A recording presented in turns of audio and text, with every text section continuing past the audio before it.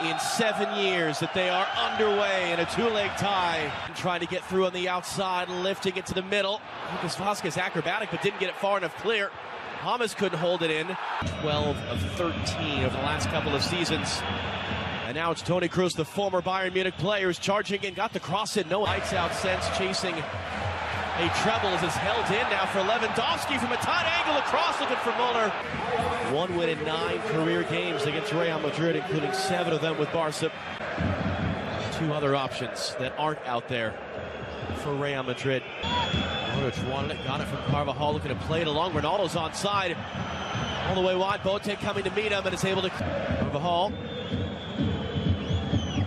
This guy's picked up his foot by Rafinha, but Carvajal first to get there.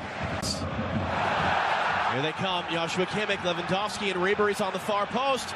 Kimmich now driving it through, scoring himself. This wonder boy, Joshua Kimmich, has put Bayern in front. Summer. Thiago quickly for Franck Ribery, but a loose touch from Opta. This is the first time since 2004 as Modric almost stole. Field, Bayern took advantage. Lewandowski up for miss hit it, then Hummels couldn't hit the target. Ribery just charging all the way now, leaves it for Rafinha. His cross looped in. Muller was there, took a deflection. Thiago let it. Thomas, the in swinger, just one. Muller got the final touch there. Lewandowski got the first. Pick your poison. Thomas to loop it in. It's on the doorstep. Save. It was Lewandowski there, right to Nava. Ramos. Carvajal with his head. Ronaldo was thinking about the bike. Marcelo hit it. It's in. Never mind the defensive mistake. Marcelo with a cannon shot, and it's all square in Munich.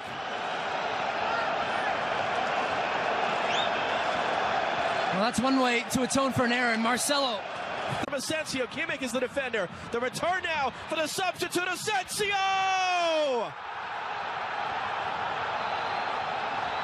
First Champions League goal this season, and just like a year ago, Real Madrid coming from behind to take the lead in Munich.